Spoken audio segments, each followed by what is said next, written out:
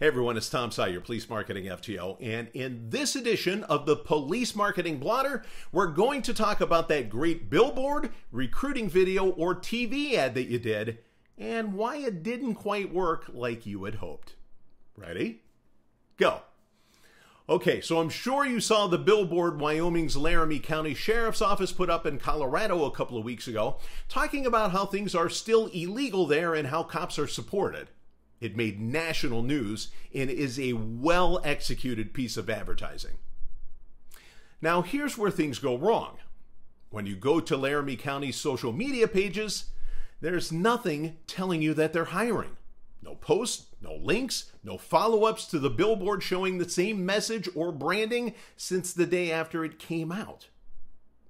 If you want to be successful in recruiting like it's 2024, you have to realize that recruiting is not a one and done event anymore. You can't just run a billboard, post a recruiting video, advertise on television, or any other method that's been sold to you and wait for the applications to come pouring in. They won't be. You have to consistently reach your potential applicants where they're at build a relationship with them, and show them every day that people like them work for you.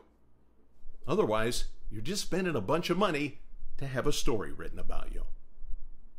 Need some help learning how to start reaching people where they're at?